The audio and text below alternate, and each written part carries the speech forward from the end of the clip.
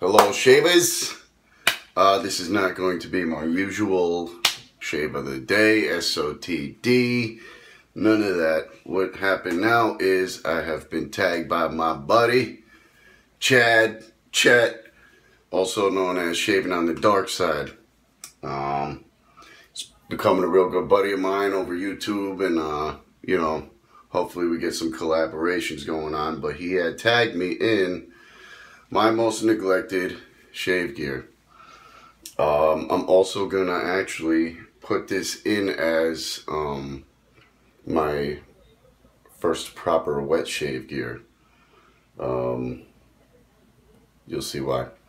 So, on that note, I'm gonna start since I'm a straight razor shaver. Excuse me, guys. I'm a smoker and I'm smoking. I'm not shaving. Um, I'm a straight razor guy, so I don't have any DEs. I can't turn around and say, you know, I've got uh, these blades I neglect, this blade, uh, this shaver. You know what I mean? I don't, I don't have that. So, what I'm gonna start with is my first strop. Now I got this in a um, combo pack, so to speak, because you know I knew I wanted to straight razor shave, but I didn't know I wanted to get everything all in one. So I wanted soap, the razor, strop, you know what I mean? So I got this. I don't even know if it works. I mean, you know, it's cloth. I don't know, crap. I have a really nice strap now, so it's crap to me. Um, I keep it just to keep it. Just to make it look like I've got more straps. I don't know. It's, it, I don't know. Kind of like a hoarding issue. I don't hoard though. Um, so going into that, I uh, I really love this soap. I do, and I love this scent. And I think if you don't have it, you should get it. You'll probably end up getting the aftershave, the pre-shave, the cologne. It's a great scent. Uh, recently did a shave with it but I do neglect it. I do neglect it, and that is my smolder. This also came with my first proper straight razor pack. Excellent stuff. Residual slickness is out of control. It is just, it's good stuff. It is good stuff. Somebody, I believe, said this is the artisan she makes. Um, since for Maggard razors, God, Like that. I would buy the cologne, but it's fifty dollars, and I just can't see myself doing that. Um, continuing with my first proper, which I've neglected every single thing I've gotten from my first proper um, wet shave kit, is my Dovo. Round point, best quality, full hollow plastic scales. It's it's really about the steel anyway.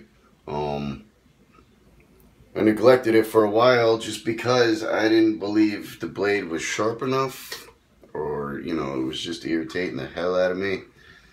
So I got my Boker. That superseded my Dovo. And then I got my Henckels and I was just rotating with those back and forth. And just neglected. Neglected. So, on that note, I went out and I got another kit.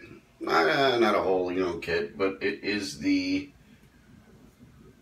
Vanderhagen. My girlfriend dragged me to Target, right?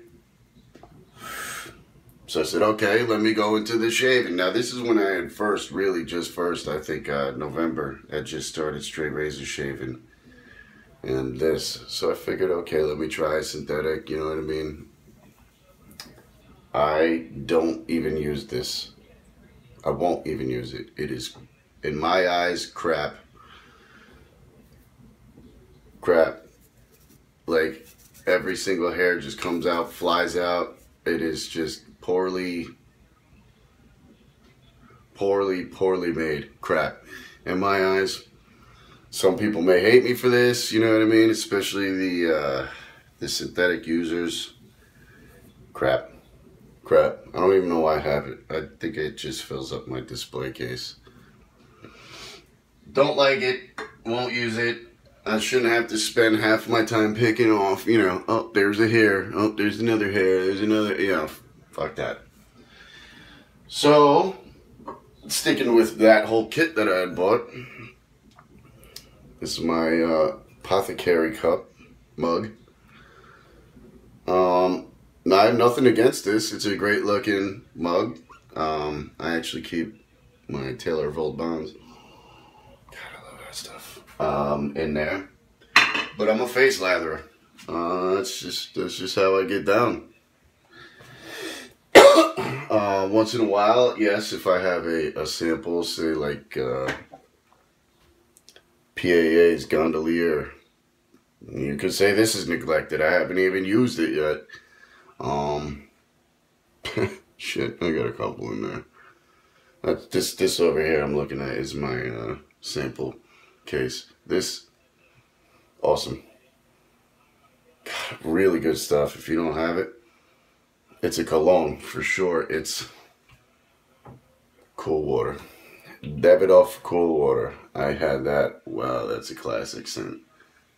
Even to me, I'm 30 years old and it's a classic scent. I was wearing that in middle school trying to get the ladies all excited. Um, so that, that, let me show you this. This all came with my, um, original pack. And that's drop. Neglected.